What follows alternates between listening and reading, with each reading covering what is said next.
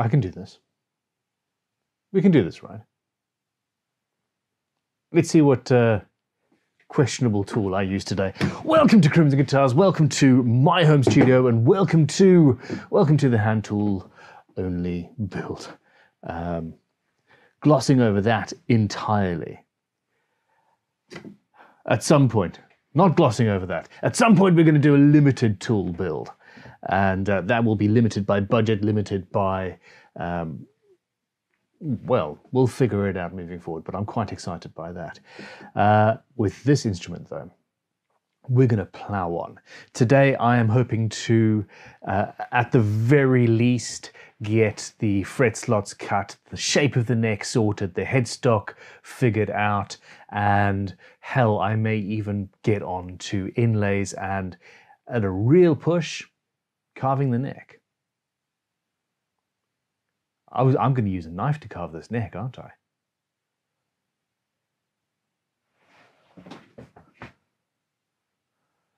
I don't have any carving. I'm going to have to use a leather. I'm going to use my Leatherman. I'm going to use my Leatherman uh, to carve this neck. Uh, I'm not entirely sure if that's going to happen in this video, though. Uh, we shall see. Now, on with the show. Burn it.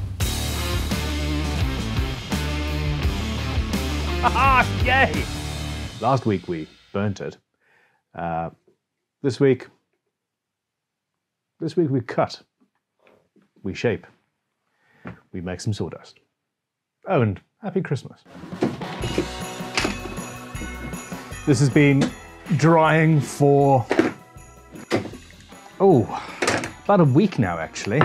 There's been a, lot of other, other stuff going on. I haven't burnt the sides, I'm gonna have to stain that. I I'm not sure how much of this flamed finish is going to stay in the in the final build. We'll see what happens with the inlaying. That's going to abrade some of it away. Um, I'm not getting covered in uh, in soot, etc., even without any finish on. So uh, that's not going to be a long-term issue. I suspect stain is going to have to be involved, and the fire was just a bit of fun. If you're watching this before the 12th of January 2022, do not forget that we've currently got a major, major giveaway slash raffle uh, competition slash raising money for GGBO 22 going on. Check the video linked in the description below and uh, uh, yeah, go and check it out. It is going to be awesome. There's a, uh, more than a few goodies uh, that could potentially be winging your way, including two whole guitars that I've built.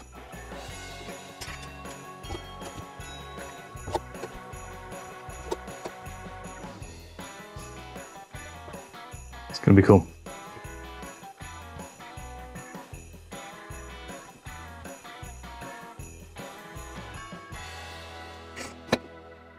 Right, that's the last fret. I've made this Cupid's bow longer than it is on the plan, which is potentially actually going to cause me some trouble with the positioning of the sound hole, because I wanted that and that to be the same distance. So I'm going to need to adjust that.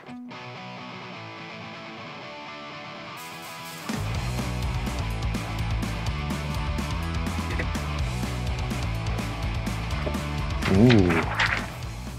One of you told me that I needed to uh, to add an inlay to the first fret as well, and I think I agree with you.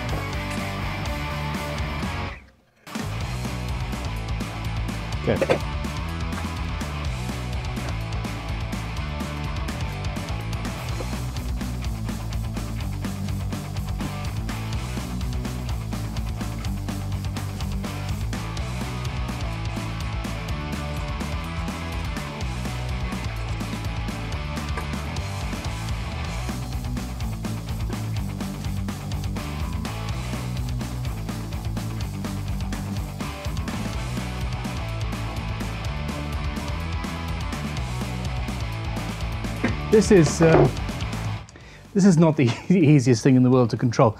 I'm going to I'm going to look for another brace. Mm. Time to dig into the tool collection, I think. Uh, so I'm yeah, I'm drilling a hole that's the right size. The the headstock is the headstock is much thicker than it's going to be. Now, generally, when I'm dr- drilling a headstock, you want to drill from one side and then in from the other and meet in the middle. That stops any potential blowout or uh, issues. I'm not worried about that because the headstock is still much thicker than it's going to be in the end. So, any such blowouts are going to be carved away. Got some ultimatum braces in here, all needing repair. No. Oh. You. okay, all right. Actually, this one's in perfect nick, I think.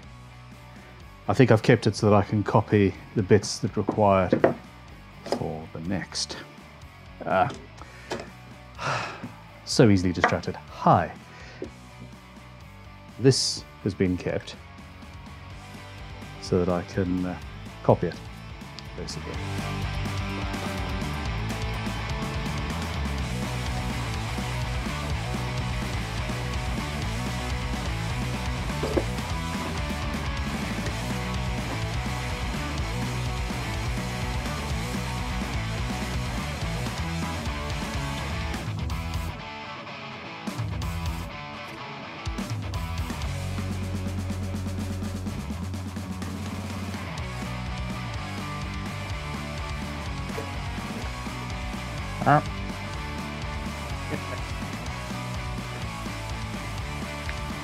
I'm I'm I'm really enjoying this actually.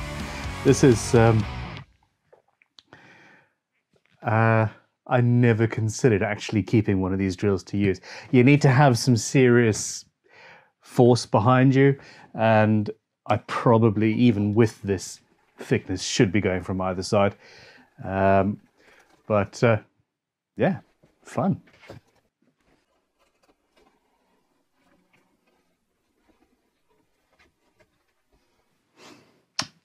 Beautiful. and we've got more than enough space to remove the excess there. Alrighty, now onwards uh, with some more sawing. I'm going to have to practice my uh, sawing techniques, but uh, this is going to be a little bit easier.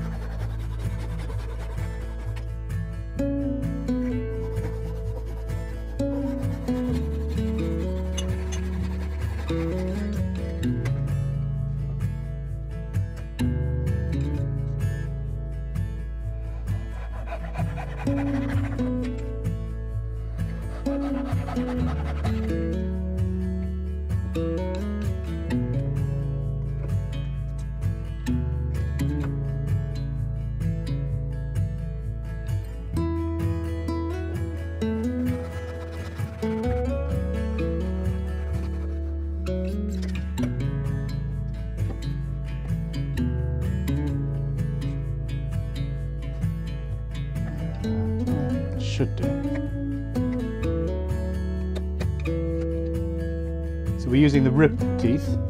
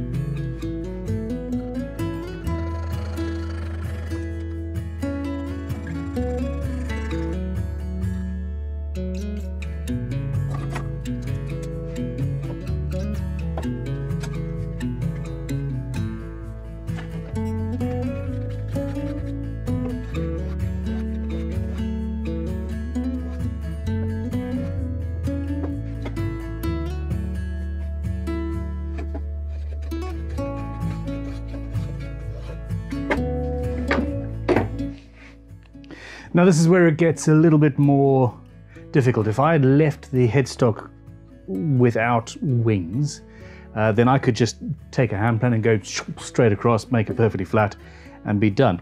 At this stage, I'm going to have to plane as much as I can because planes are amazing, and then in this area use rasps and files and straight edges to make sure that it is straight. I need to be absolutely certain that I'm not going to mess it up. So instead of the, the knife line, the scribe line, I'm going to use some masking tape. Uh, something to look out for when uh, looking at handmade guitars, if you want to see the, the, if you want to check the quality of what you're looking at, uh, that, if that is not straight, it's because somebody's done this and hasn't done it very well. It's subtle, but uh, a good indicator of other problems later on down the line.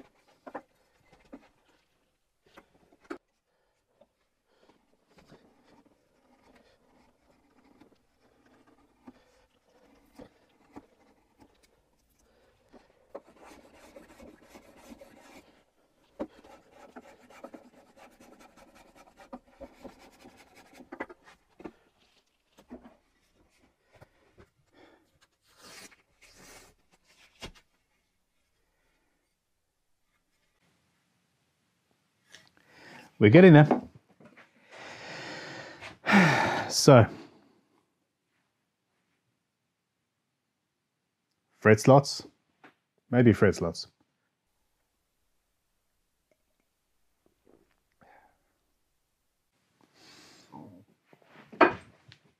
No, measure, measure, cut.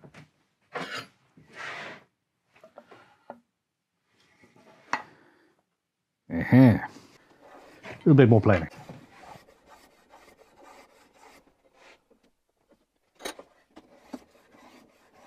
I'm going to hit it with a leveling beam and that just shows me just exactly where we're at uh, straightness wise. Done. Yeah, perfect. Russ.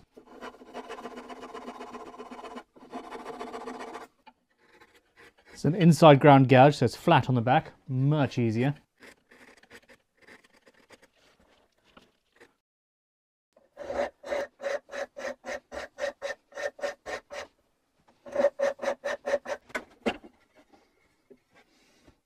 No, I, I, don't have 24 inch scale length on the Crimson Guitars fret ruler because it's not a common scale length. This is going to be marked out by hand. Of course. Hold on, hold on. Uh, you people wanted a kit version of this guitar. And I have some of the initial bits and pieces. Prototyping is going uh, underway. There's um, we can actually cut the inlays on the laser cutter, can you believe it? Or at least uh, the, the cavities. So uh, this is now, this is now live to pre-order. It's live to pre-order. This is now live to pre-order on at crimsonguitars.com. The link is in the description below. Uh, we are uh, happy with uh, with the price. It's going to be a lot less expensive uh, than I thought it was because we're able to use the laser cutter for so much, which is taking uh, a lot of the time of the way. Uh, I've also managed to uh, uh, buy a beautiful wide belt thickness sander that's going to make this just better. So, yeah, link in the description below. there are various options, which is why I'm not talking about the price. There are various options of inlays and uh, timbers and bits and pieces that vary it slightly. But uh, You'll be impressed. Click the link. And thank you for your support. Uh, now, strange scale length by hand. Yay. Now, when marking frets out uh, by hand, you need to tape your ruler down to the to the fretboard. Don't let this move. That would be chaotic and uh, not funny. So what we've got is I'm drawing out where the fret slots are. I can look at that and say, yeah, that looks right, which takes practice. But um, I'm then using the Crimson Protractor, which is freaking gorgeous. As well as drawing the line, I'm also making the, the first cut with the scalpel. It's just saving me a little bit of time. I do trust that they're in the right place. I trust that I'm doing this correctly. I also know that if I'm not, the cut is almost certainly going to be underneath a fret. It's a risk. Do what I say, not what I do. So once the primary cut has been made, it's very easy. The, the blade just follows the initial slices.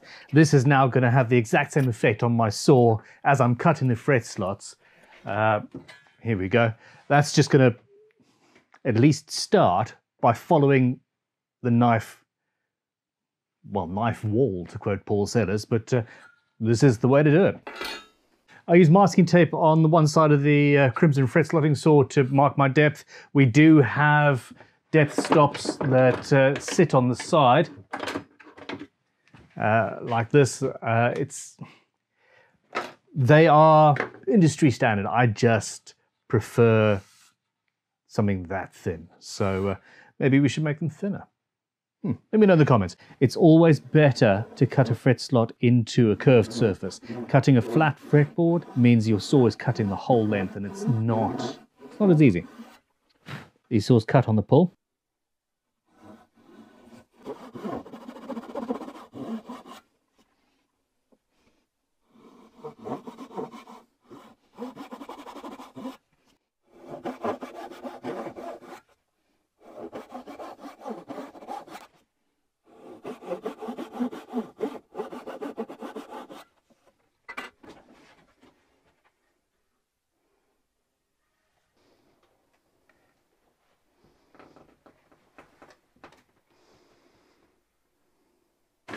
So I'm sitting here trying to figure out what my next step needs to be.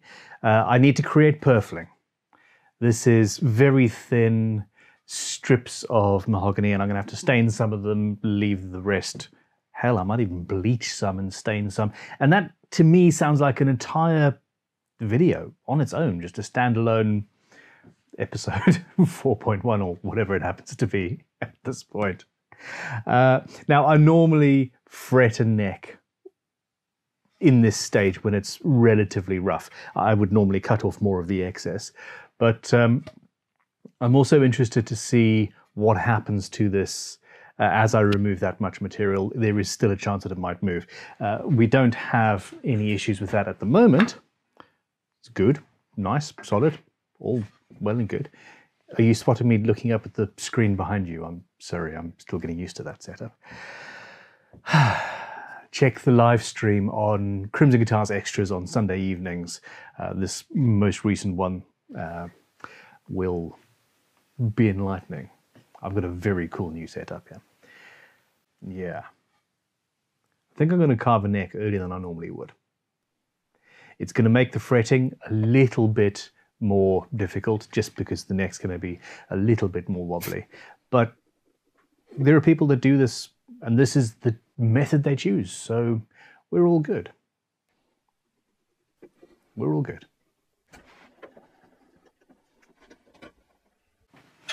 Yes. The time has come to actually use this. I think. Do I want to cut on the pull? That doesn't feel like enough tension. So well, this feels better.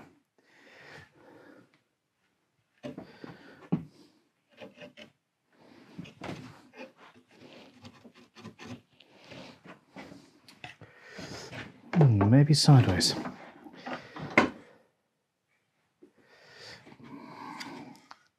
I really don't know how to use this.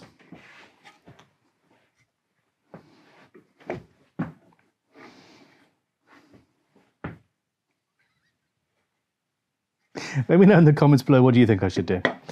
Um,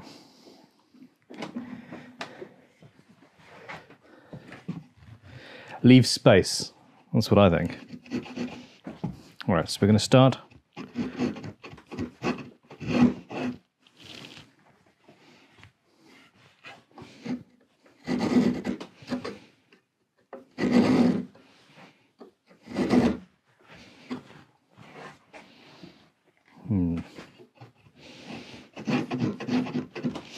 Okay, no, that's weird. Okay, so it's not going to act like that. Let's get our block and clamp it to the bench. Oh, that immediately feels better. All right.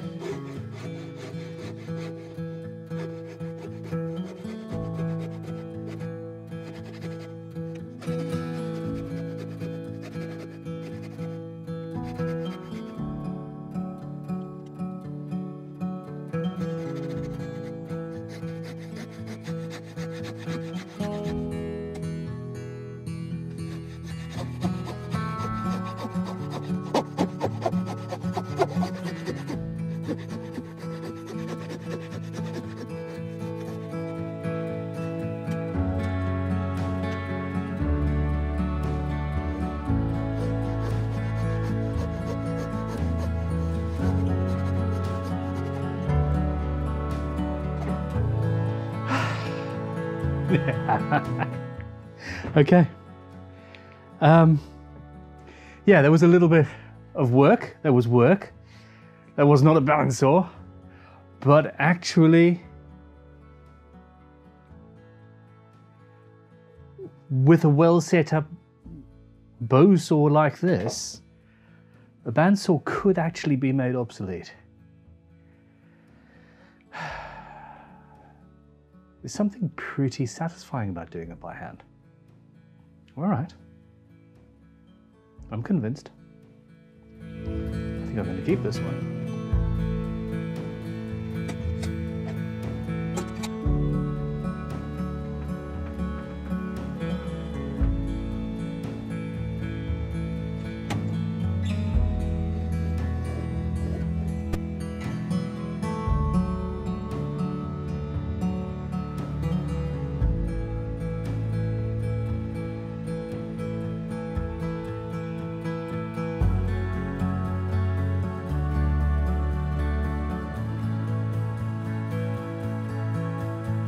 Only, uh, only a little bit of blood.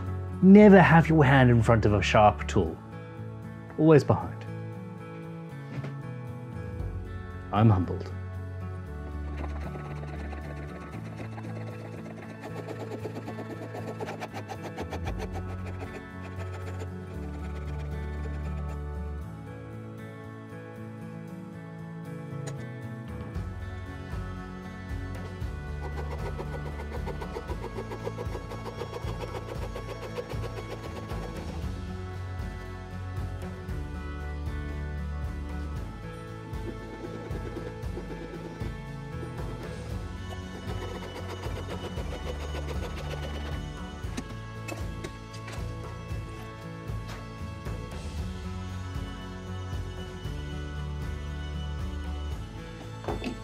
Okay, so it's important to start with the neck being exactly flat on the back and the final dimensions that I want. I'm, I'm nearly there.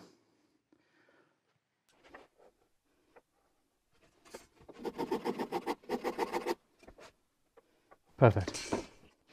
So I'm using the zero point there. It's a center finding ruler.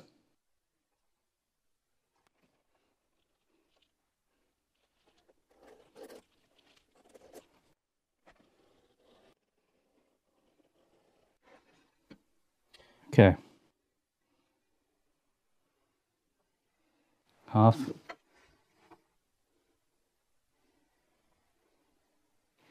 So that's halfway between the bottom of the fretboard and the uh, and the back of the flat bit. Okay, so this is my day to day. It's a, a titanium, um, it's a titanium Leatherman charge, and I absolutely this is, yeah. Uh, I am, I must say, now sponsored by Leatherman, which is amazing because I've been wearing one for the last twenty odd years. But uh, I've got something in my camera bag that actually may be the better blade for this.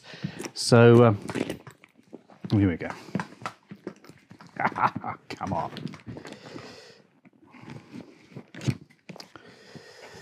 This one.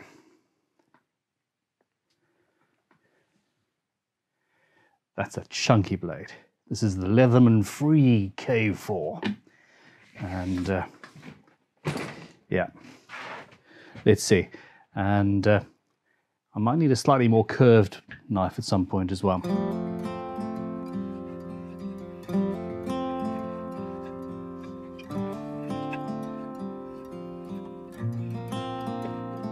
Okay, so the grain's going that way.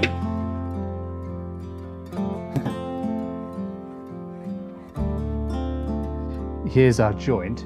So the grain here is going that way, and the grain here is going that way. Typical. Any advice?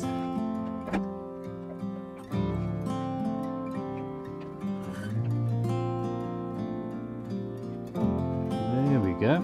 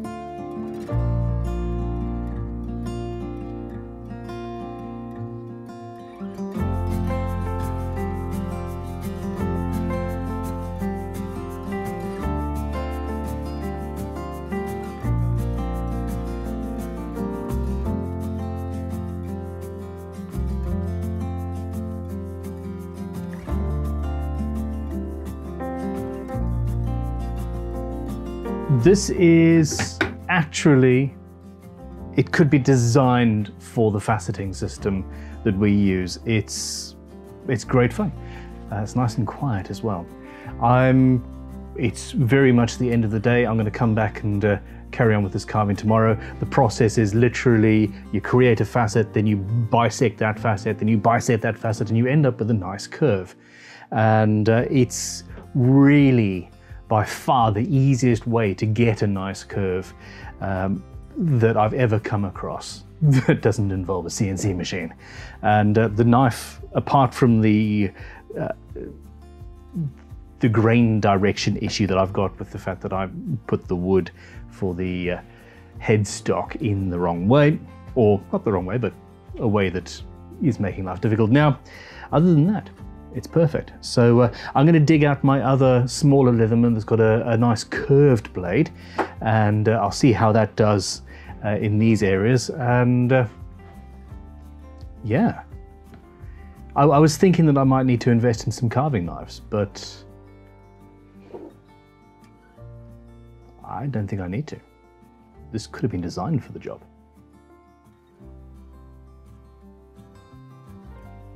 So at this stage, another day, I've come in late in the evening because I fancy it to finish carving this neck. I'm very much looking forward to getting the uh, the little headstock areas sorted. That's gonna be that's gonna be fun.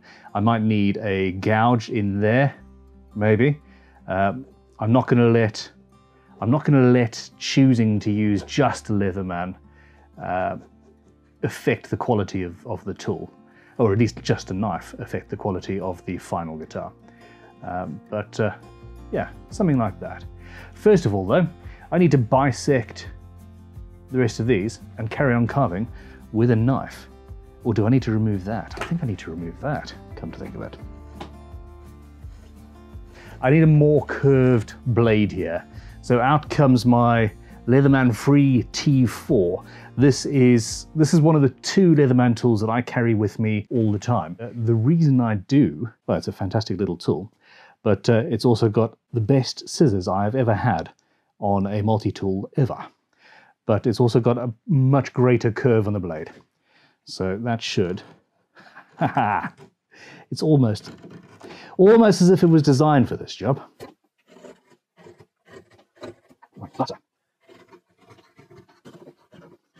Okay, I am semi going against the grain there, which isn't a good idea.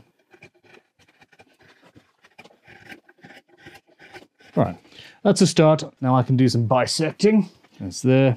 And I'm marking halfway in between each of these facets. What I want to do is bisect that and carve that away as well. Back to the bigger, bigger tool. Now my grain, I've got a weird grain coming up into here.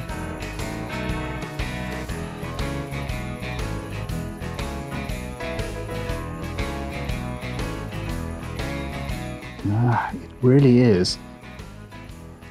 I could have chosen wood that worked with me rather than against me. Where would the fun be in that though? That's just the best bit. Just carving in there.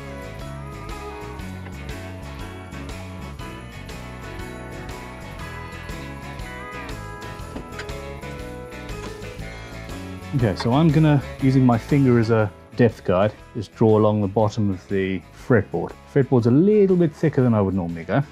And normally, of course, you can actually see much easier what your fretboard is, or where it is. But this time, we don't have that luxury.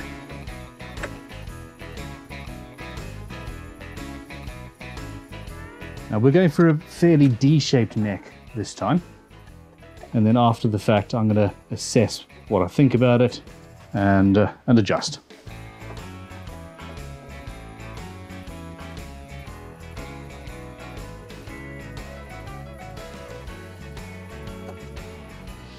That's interesting. I actually find myself, I'm, I'm riding the bevel of, of the knife here and I find it much more comfortable pulling. I seem to have more control. Nearly there. So we've got a fairly, fairly chunky shape. Uh, which I kind of want to a certain extent for the travel guitar. I want as much material as there as possible, but uh, I'm gonna have to bisect this one curve one more time. And I'm actually gonna have a guitar that I could just leave like that and I would be comfortable playing it still. I'm gonna, actually use my, uh, my uh, actual Leatherman multi-tool. This is, uh, this is uh, Autosol chrome polish on a little leather strop. With knives, with the, uh, with the double bevel on it, I actually find it a lot easier to control the strop rather than move the blade. I, there is no right way. The only right way is the way that works and, uh, and works well. Anyway, I use this knife a lot so it does need a little bit of a touch up.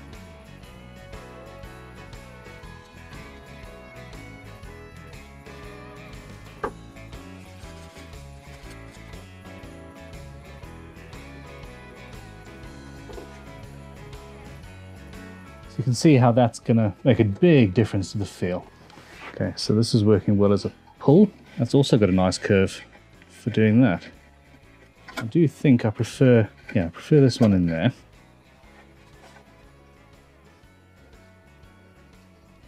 Yeah, and our cross grain weirdness again. So it's at this angle that it's weird.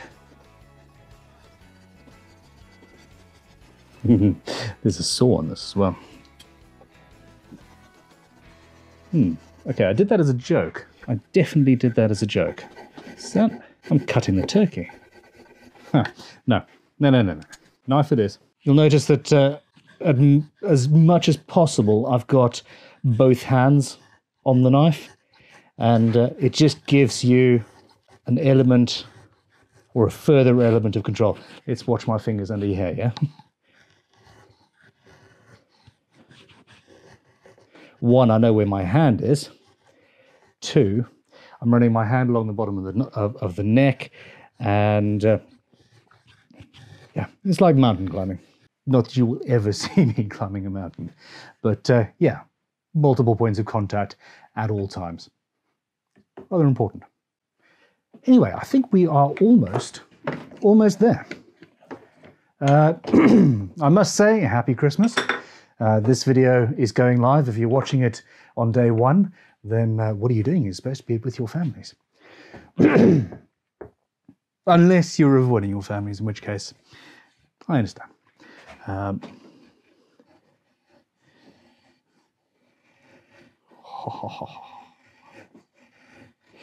I can see how much fun it would be to carve a neck with a knife if you've got the right piece of wood. And if you weren't silly enough to put in a scarf joint uh, that would just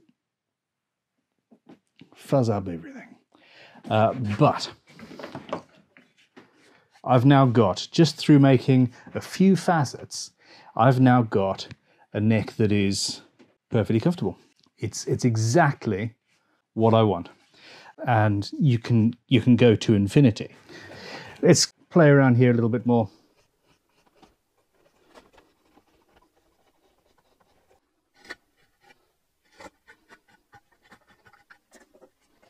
The smaller blade here actually works, well, of course it works better in, in curves because it's a smaller blade.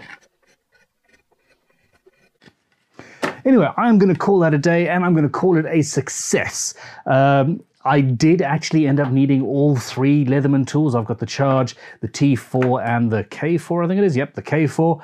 And uh, they all had their uses within the different uh, shapes and facets of this neck.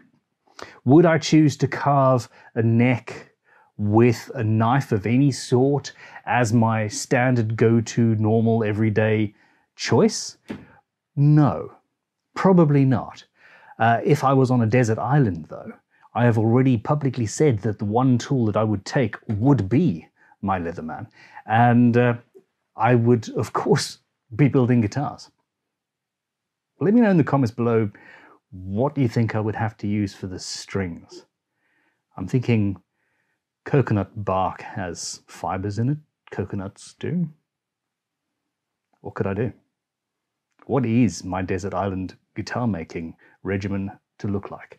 Uh, anyway, that's enough. Um, I am, of course, going to rasp and file the final shape in. Uh, I've still got a slightly faceted neck here. I'm going to do some sanding and all of that jazz, and that is going to be in the next episode. Uh, I've got inlays to do. I've Hell, I've got a whole guitar to build. Uh, now, it is Christmas Day. The, the actual kit has just launched for pre-order on the Crimson Guitars website with various different options available to you. If you are interested in this, we will be sending out an email to the to the hell of a lot of you who uh, uh, registered an interest when I first started this build um, one episode ago. But uh, yeah, more will come. Click like, subscribe. Uh, go and subscribe to the Extras channel where I do live streams, including everything you've just seen with me wearing this shirt. And uh, most importantly, go make some sawdust. Stay cool. See you soon. Goodbye.